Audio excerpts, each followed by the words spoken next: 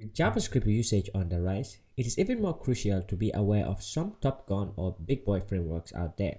So here we have it, the top 5 JavaScript frameworks you must learn in 2016. First, Angular 2.0. A framework developed by a team at Google, its predecessor, Angular 1 has been one of, if not the most popular and most used framework according to many statistics around the web in the past 5 years Angular 1 went through a major overhaul from 1 to 2 with breaking changes and for good reasons of course. But let this not stop you from checking it out though, as they have some nice features like improved component creation, integrated TypeScript system as a first-class citizen, improved template system from the already brilliant and easy one provided by Angular 1.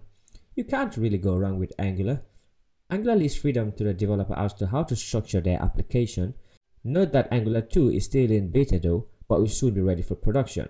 So I'd urge you to check out Angular, because you really can't go wrong with it. Framework 2, Ember.js.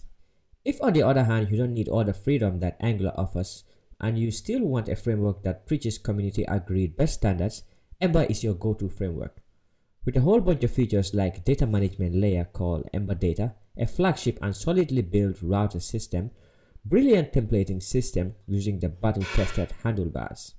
Ember really is your go-to framework if you want a really battle-tested framework and if you want a framework to build ambitious web applications like they say on their website.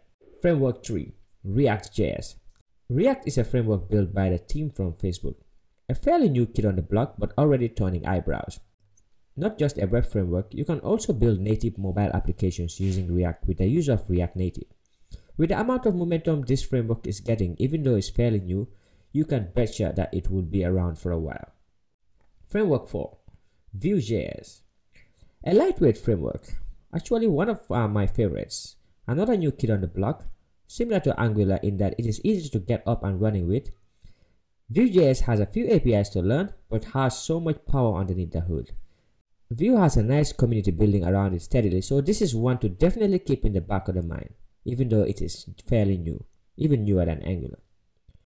Framework 5 Meteor.js A full stack framework in that it caters both to front end and back end development. You can write JavaScript on both the front end and the back end. Meteor.js is a very real-time driven framework. If you need to build an app with instant notifications and real-time events, this is your go-to framework. Meteor.js has high emphasis on rapid development, so if time is not your friend, have a look at Meteor.js. You will not be disappointed. Okay, so there you have it, the top 5 JavaScript frameworks to learn in 2016. So a last verdict before I leave you. Frameworks and libraries are interchanged by many. Some deem them as the same while others think they are different.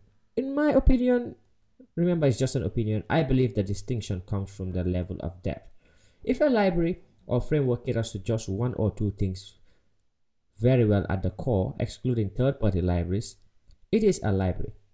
If on the other hand it caters to many things at the core level, it is a framework. However, this line is getting blurry because where do you draw the line? So maybe we should concentrate on what we need as opposed to trying to identify between a framework or library. So for the sake of this video, I just stuck to one term framework to make things simple. Okay, so there we have it. And once again, thank you for watching. If this video was helpful, please like and subscribe and share the video so others may benefit as well from it. I thank you for watching. I will see you soon in another video. Cheers. Bye bye.